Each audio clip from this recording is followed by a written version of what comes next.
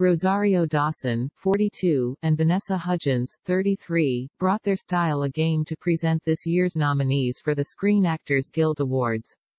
The stars, who were situated in two different locations due to COVID-19, revealed the cream of the acting crop virtually via Instagram Live on Wednesday. Both beauties embraced complementary looks with center-parted hair, glowing makeup and ensembles of soft hues.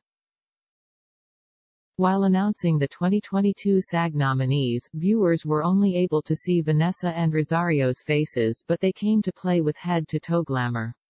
Hudgens stunned in a romantic lacy two-piece gown in a pastel pink tone. The A-line skirt hit just at the tick-tick boom star's ankle and was cinched tight on her slim waist. The waistline of the skirt featured jagged bits of lace that were echoed in the trim of the matching sleeveless crop top with a mock turtleneck. Vanessa's girly look was offset nicely with her raven locks parted in the center and gently swept back into a low chignon. This morning I got to announce the at SAG Awards nominations with my dear friend at Rosario Dawson Congratulations to all the nominees and see you at the awards Sunday, February 27th at 5 p.m. Pacific, 8 p.m. Eastern on TNT and TBS, Vanessa wrote on Instagram. Rosario opted for light tones but went for a more modern bohemian style.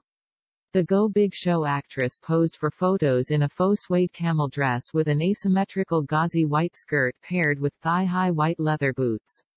She topped the dress off with a long duster in the same camel color and accessorized with thick enamel hoop earrings. Dawson's dark tresses were trimmed short, just below her ears and blown out to a sleek shine was so fun to announce the 28th SAG Awards nominees live on at SAG Awards IG Live One Today with you at Vanessa Hudgens, Rosario penned on social media following the presentation. Fashion family drama House of Gucci and dark western The Power of the Dog led the field of film contenders announced for Hollywood Screen Actors Guild Awards, landing three nominations each. House of Gucci was nominated for the group's top prize of Best Movie Cast.